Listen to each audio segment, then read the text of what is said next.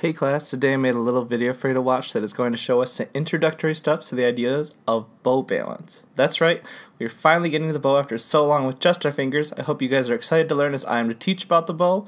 Bow balance is how we hold the bow. I use hold very loosely because if you're doing this technique correctly, we're actually holding the bow very little, but instead we are balancing it between the strings in our right hand, hence the term bow balance.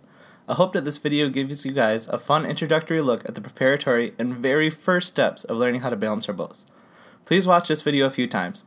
Try it once just watching, then another time stopping and pausing between each segment of the video to practice, and a third time to make sure that you're doing everything correctly, then practice individually. Our lesson targets today will be that at the end of the lesson you'll be able to 1. Properly place the right hand fingers for good cello bow balance. 2. Balance the bow very basically between the strings in the right hand and three, be able to guide yourself individually through the three basic steps of cello bow balance. Grasp, plop, lean. Today's lesson will go in this order. How to shape the bow hand with a pencil, preparatory bow exercises with the pencil, some quick bow tips, shaping the bow hand with the bow, and the beginning of how to balance the bow on the strings. Episode 5 of 6 A New Bow Balance. A longish time ago, in a country not so far, far away, Experts of the string craft perfected the technique of bow balance. The bow was their ultimate weapon that allowed for small, precise maneuvers of technical prowess, as well as the tenderness to portray moving and emotional passages. These experts vowed to pass down their art of bow balance so as to defeat the evil tension players and their bow grip technique.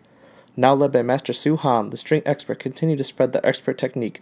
Having been trained by Master Su Han himself, I come to you to spread the technique of bow balance and help you defeat the tension players.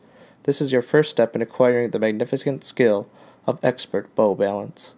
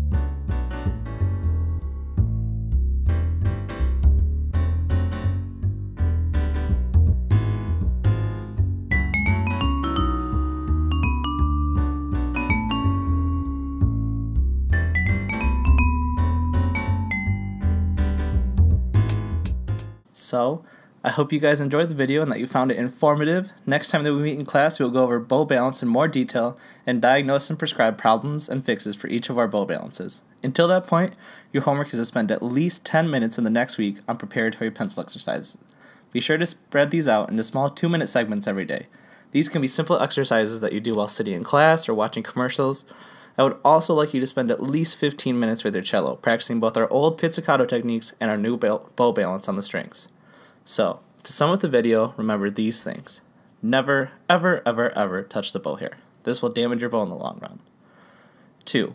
Make sure the hand, fingers, pinky, and thumb are all relaxed. 3. Make sure your thumb is relaxed and bent. 4. Make sure no weight is being held in the right hand when doing the pencil exercises. And 5. Grasp, plop, lean. Thanks, guys. See you next week.